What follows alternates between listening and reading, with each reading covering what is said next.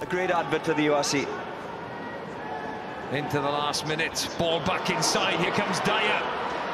A support from Sam Davies. He feeds on to Lewis Jones. It's going to be a bonus point try for the Dragons.